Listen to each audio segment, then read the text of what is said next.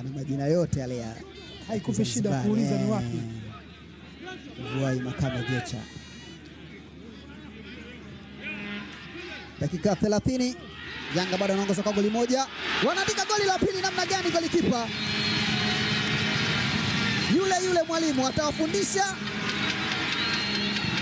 ameona wacha waburudike wakati huu eh, bana Makame naye anaja kucheza ndombolo, alidharau dharau tu hivi. Goli la pili. Inaonekana sasa hivi. Aga. Wameenda kucheza na pembeni kule na Lamine Moro. Ni makosa ya golikipa, lakini mlinzi naye akafanya makosa mengine. Anaweza kuona pia hata kugeuka sehemu ambayo si sahihi kugeuka, pengine angefanya maamuzi ya kupiga mbali, lakini na golikipa naye pia, kwa sababu hakuwa katika eneo ambalo lilikuwa ni sahihi kwake,